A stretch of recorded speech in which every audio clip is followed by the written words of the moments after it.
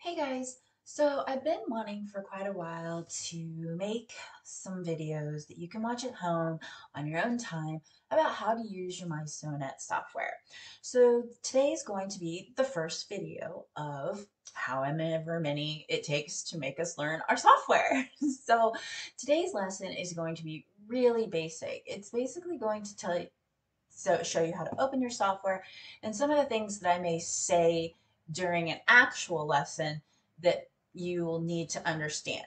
Um, so we're going to go ahead and get started and we're going to do that by double clicking on our mySewnet icon on our desktop.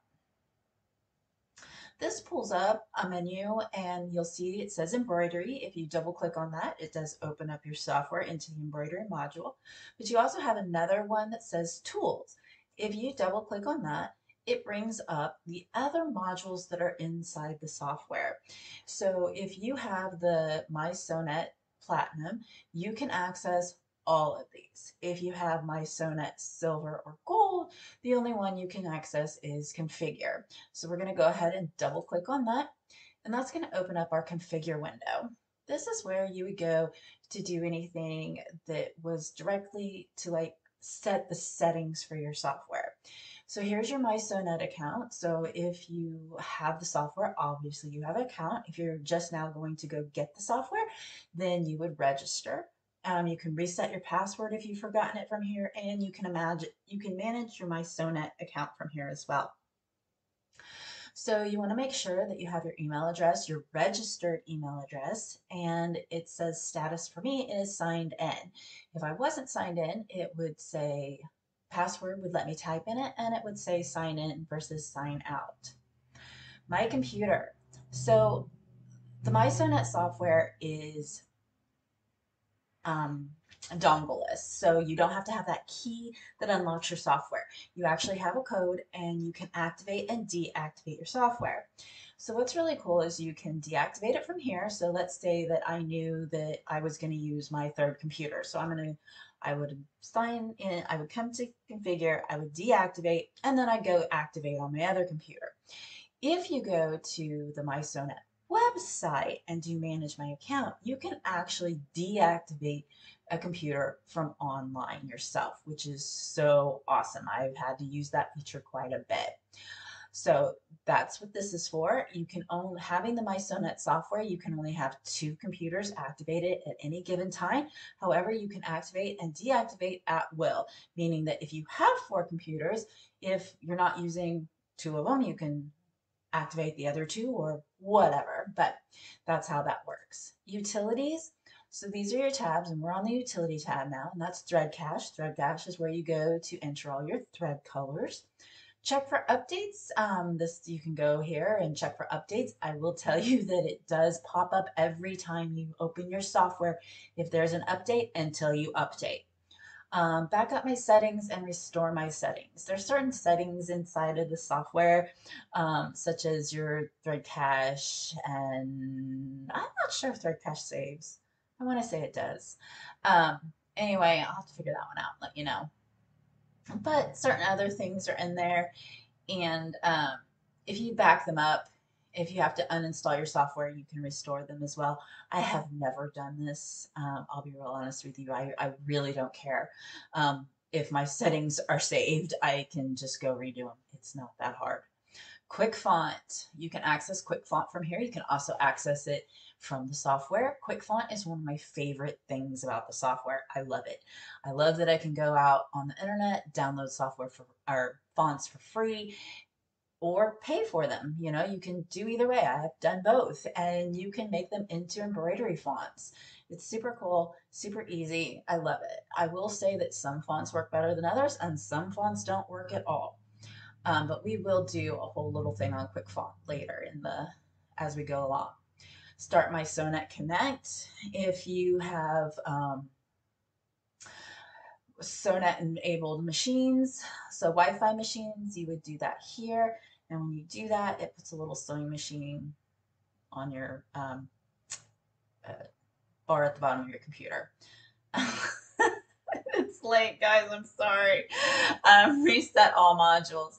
So let's say you go in and you do, um, you change your grid size, you change your appearance, which we're getting ready to do or show, and and you're just you're like, oh, I just messed it up so bad. I want to. You can reset all modules, and it'll go back to fa factory settings. Reset file association. Um, you can reset your um, embroidery files to go with this mySewnet software. Um, you can do it this way. You can also do it through settings. Um, I actually don't have the um, Explorer plugin, which is what it calls it, which shows you the icons installed on my computer. So until that's why it says that, um, until I do, I I can't really use that. Um, it doesn't. I don't really use it anyway. Um, so it's not a big thing for me. So that's why that's not done. But anyway. you don't have to do it, but if you want, you can reset your file association. So anytime you double click on a design, it will open directly into that software that you specified. Um, I have multiple softwares on my computer, so it doesn't work for me. This is your appearance. So your background color defaults to a pretty light blue. Light blue is easy on your eyes. I do recommend keeping that. Um, sometimes you can do some really crazy colors I mean, you can do a whole entire rainbow. And the problem is, is if you get some colors that can hurt your eyes, um, it's just not as good for you to vision wise.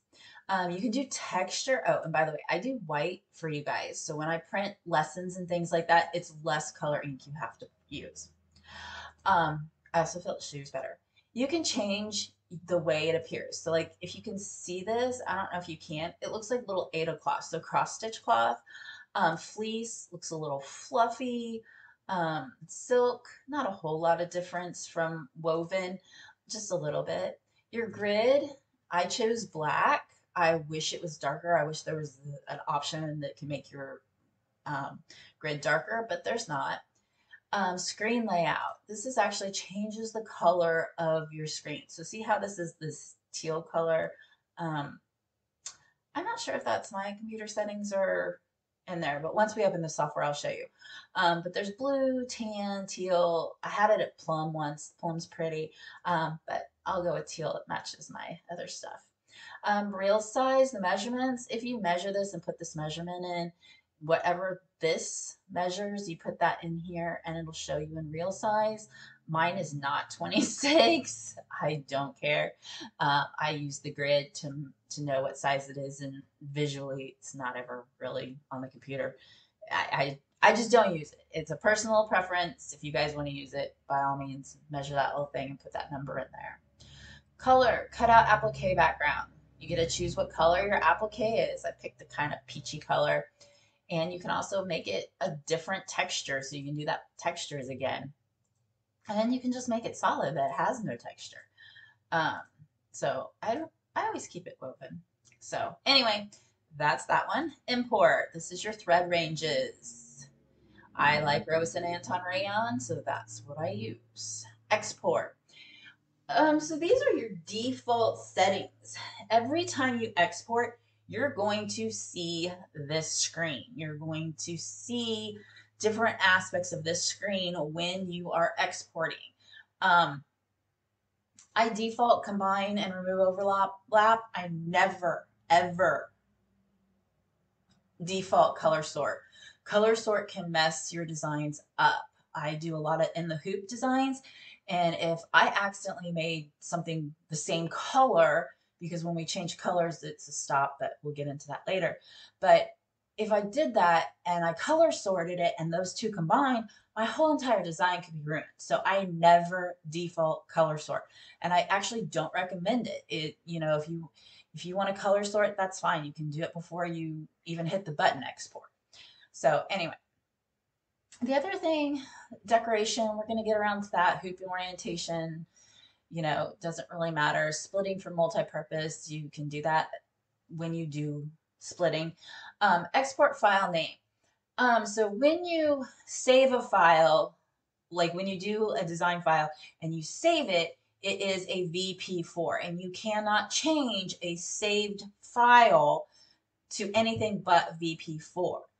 When you export the file, you can choose what file format you want. So VP3, PES, DST. But what this is asking is when you do that, when you export it versus save, they're asking you if you want this word exported attached to it. I think you can even change it. Yeah, you can change whatever word you want. I do not do that. I just type in my type, my name, or what I want my file to be called, and I change it to its format and I export it. Um, but it's totally up to you. If you want to know, it, it does get a little confusing if you export it as VP4 versus saving as VP4. But if you export your files as VP3, you're never going to get the two confused because you have VP4 and VP3. So you have one as a saved and one as an export. But we'll get into that when we start saving. There is an OK and apply. It works the same way. Apply sets the changes, OK sets the changes and closes the box. We're going to go ahead and just close the box.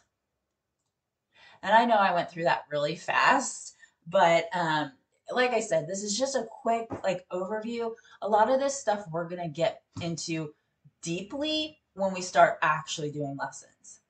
So embroidery, this we're going to double click on that to actually open our software. Okay, so there's that teal color I was telling you about. And if you chose plum or whatever, that color would reflect there. Okay, guys, so this is the screen you always get when you open it. It has current projects, so anything you've been currently working on will show up here, or anything you've even opened. You may not even have worked on it. You might have just double clicked on it and opened it. It will appear here. You get welcome, new window. New window opens a completely another window. It doesn't, it leaves the original one open and gives you a new one. Um, open opens up the design and puts it into the hoop. It also closes anything else. So if you're working on something and you click on open and you choose a design and say okay, it's going to close the one you were working on and open the design that you chose. Insert puts it in there with it. So it opens the design into your working area. So do keep that in mind. And again, we're going to work on all this in detail later. Save, we were talking about that. Save saves. Um, the first time you save, it'll ask you to name it. If you hit save again, it'll just automatically save it as that name. Save as lets you change the name at every time that you say it. Export, that's what we were talking about earlier you actually get to make some choices and then send it as a stitch ready file. So it kind of like gets rid of shorter stitches, it optimizes everything, it can color sort, which we already discussed, but it also removes background stitches that you don't need and things like that. So you always want to stitch out an exported file. Export applique pieces, sends it to a cutter. Export decoration template, sends it to a cutter. Send sends it to your Wi-Fi enabled machine. Print, prints the design preferences. Um, you go in here, this is where you have your spelling, so you can check your spelling and you have different languages for that. Um, remove overlap when combining embroideries. Again, this is like the, this will be is the third time, the second time today, and it will be the third time you see, can change that. Applique, applique piece margin, I always set that when I do it but you can override it and you can, you know, just do it so that these would override whatever you chose before. Configure, again, that'll take you to that configure window. And then exit makes you leave. So blank canvas comes available to all silver, gold, and platinum users. Um, Express Design, Photo Stitch, Express Monogram, Word Sculpt, Quilt Block, Spiro, Family Tree. No, I don't think Family Tree comes out. Maybe Project in the Hoop. All of those come in gold and platinum. Silver does not have access to those. And then you have your platinum ones, Digitizing, Cross Stitch, and Sketch. Those are exclusive to platinum. Okay, so we're gonna go ahead and click on blank canvas. The minute you do that, everything goes away and your hoop pops up in your on your screen and it looks like you're getting ready to do something. It's also one of the things I do kind of like about this is that it does pop up with the hoop selection. This is new to mySewnet and I really do like it. Um, it, it's a good feature. It, you know, instead of having to come up here and hunt for it, it's automatically there. Normally you're doing a different hoop, so pretty easy. And then we just say, okay, and that's gonna take that change and put us into our hoop.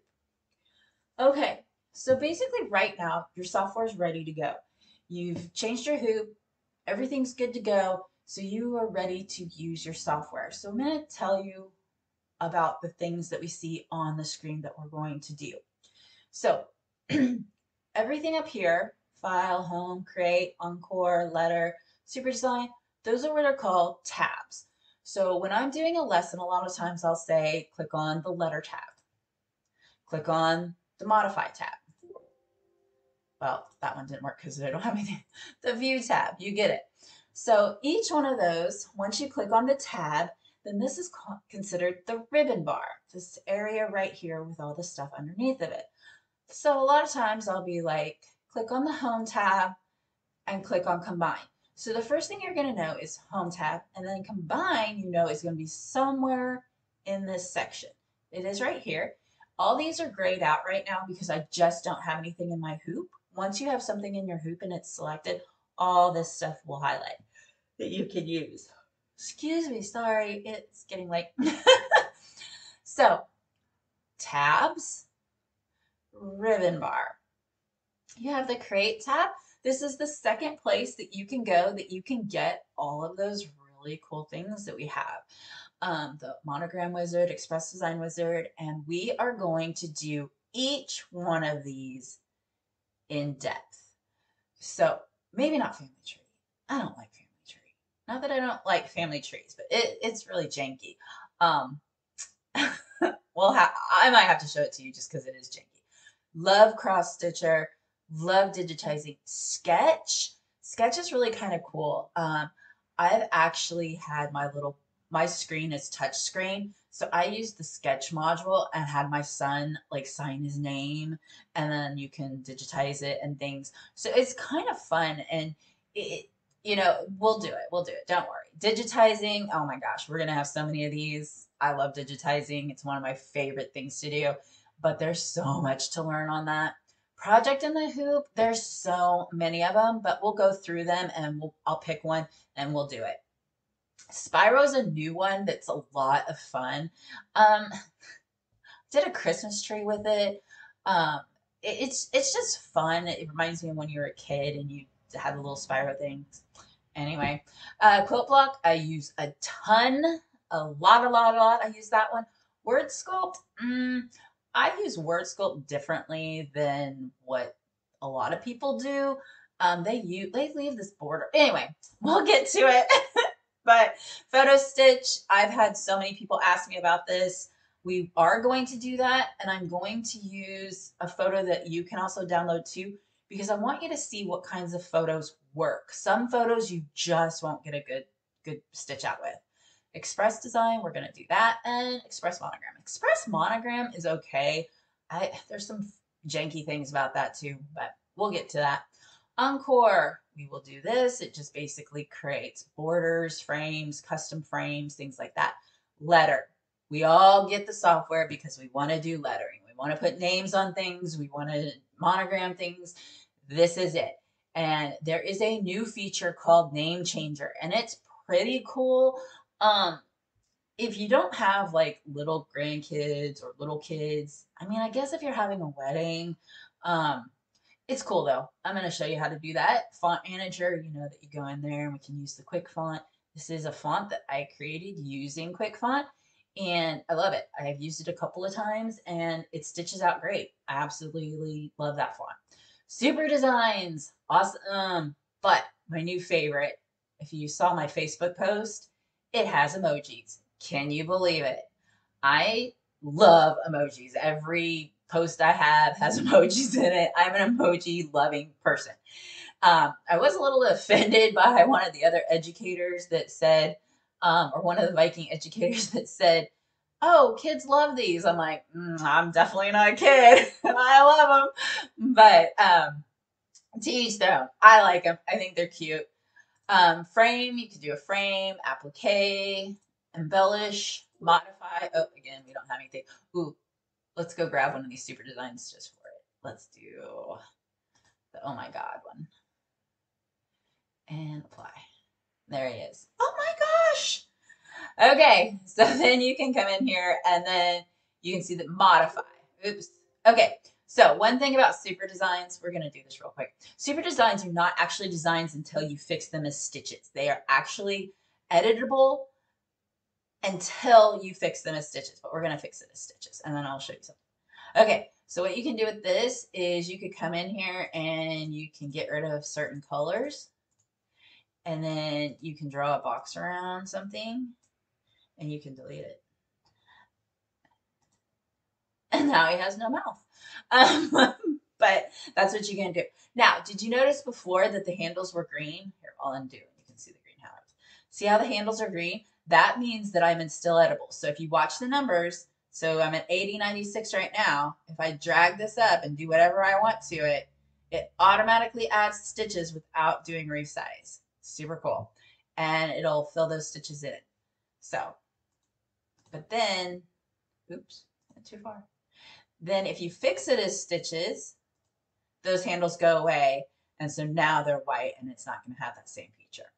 Okay, view.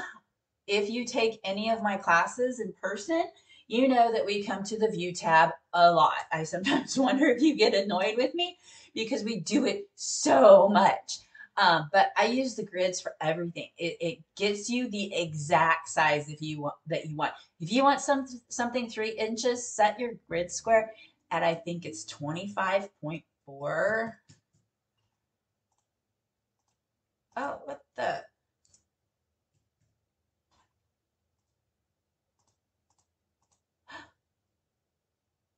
No.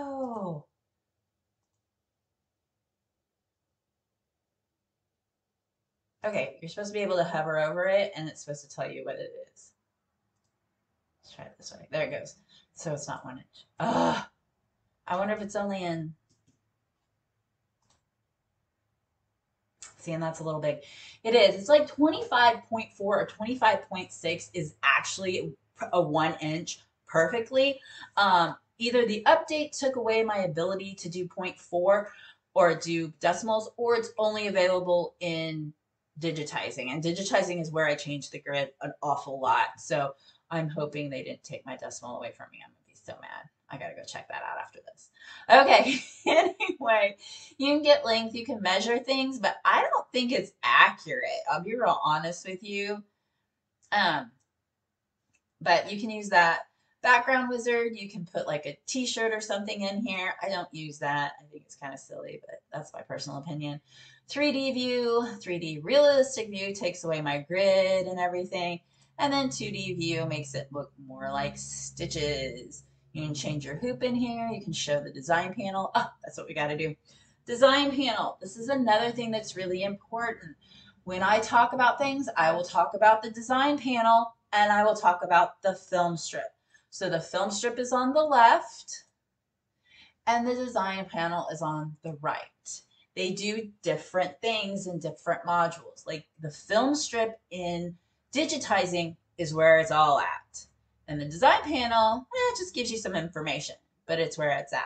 Whereas here, when we're in modify, we don't have that film strip. We only have the design panel. So we can only make little adjustments and things like that. Okay, so recap real quick. These are your tabs.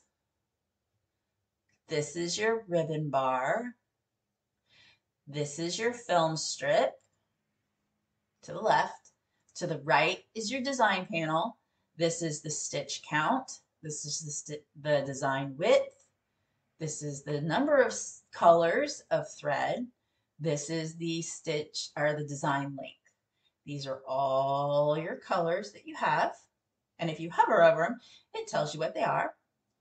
This is the change color. So if I click on this and I click on that, it'll change the color.